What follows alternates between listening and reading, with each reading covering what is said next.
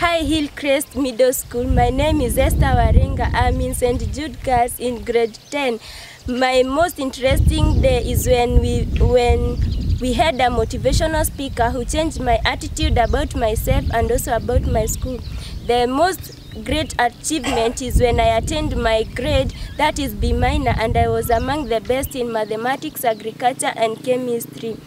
The lessons that I learned is that change is possible and the most memorable moment is when we visited a children's home as a true lover member. Apart from academic, I also participate in in True Lovers Club. Thank you for your support and I know that through your support I will attain my mean grade. Thank you.